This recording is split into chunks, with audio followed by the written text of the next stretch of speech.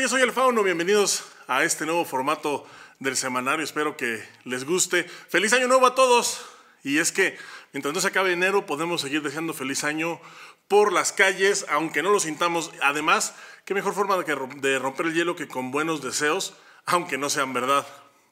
El 2021 terminó con varios pendientes y un taekwondo mexicano lastimado, sentido y además insultado. Digo insultado porque si usar playeras de flores y zapatos sin calcetines no es lo suficientemente naco, ¿qué tal otorgarse un premio a sí mismo? Sí, ya saben de quién estoy hablando, no lo voy a repetir aunque me muera de ganas. México pasó en el 2021 de ser la esperanza olímpica de un continente entero a postear fotos de medallas obtenidas en abiertos. Además pasó de ser un deporte de referencia a uno que tiene que extorsionar a sus patrocinadores y que la CONADE ya califica como un deporte del montón. Y eso es trágico para todos, en especial para los que están al frente de la federación, porque el que se sepa que el dinero es lo que los mueve, pues es igual de secreto que el sex tape de Paris Hilton, el cual recomiendo ampliamente. Claro, no todo es niebla y oscuridad. Tuvimos un campeón paralímpico que después ganó plata en el Mundial. Somos campeones panamericanos de la especialidad. También se ganó primer lugar en los Juegos Panamericanos Juveniles. Eh, varios, eh, varios premios nacionales del deporte. Ninguno de estos resultados son poca cosa. El problema es que a nadie le importan. Sí, yo sé, yo sé que se oye muy gacho, pero así es la realidad. Es horrible. Si no me creen, vean la foto del actual presidente. ¿Y qué tenemos para este 2022? Pues es bien sabido por la comunidad y después del año pasado también se volvió evidente que la administración actual tiene el timing de un caracol de jardín y las babas también. Vamos a ver, este fin de semana tenemos en Querétaro el famosísimo curso del COSET, la CONAFT y la segunda certificación de instituciones.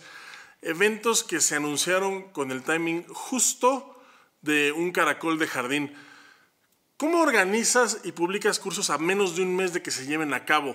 ¿Cómo le dices a la gente que tiene que pagar entre 3 y 4 mil varitos de puro curso más viáticos?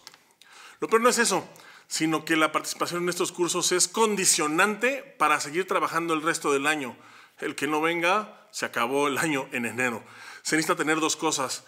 La primera son muchos huevos y la segunda muy poca madre. La gente no mete la mano a la bolsa y saca la cantidad que se les ocurra. Es enero. Todo el mundo está súper gastado intentando salir de una pandemia que va por su, ya ni sé, vigésimo cuarta ola, que mucha gente de la comunidad del taekwondo están viendo aún cómo rescatar lo poco que les queda o que les quedó después de este desastre. Súmenle que el verano pasado, con los resultados olímpicos, las escuelas que normalmente debieron de haber estado abarrotadas están vacías. Pregúntenle a sus conocidos, ¿alguien realmente se siente motivado para aprender taekwondo? Y luego se ofenden porque les digo que son unos nacos. En serio, ¿qué tienen en la cabeza? Porque me parece que viven en, en otra realidad. Pero esperen, todavía no termino. Aún hay más. Se anuncia el Campeonato Nacional para el 3 y 4 de febrero. Nada más. No hay convocatoria, no hay nada. Eso sí, se anuncia como el último filtro rumbo al campeonato mundial. El último filtro. ¿Qué chingado significa eso? ¿Qué va a pasar con los que ganaron su pase a la preselección en el campeonato de octubre? ¿O ese torneo nomás fue por convivir? ¿O también se van a mantener los pormenores en secreto hasta el último momento? Todo lo hacen igual. No tienen la más mínima concepción de administración, preparación, anticipación, nada. ¿Para qué les sirven los metodólogos si no les preguntan sobre los ciclos del deportista? A cómo se ve, el rendimiento, salud y preparación del atleta en general es lo que menos les importa.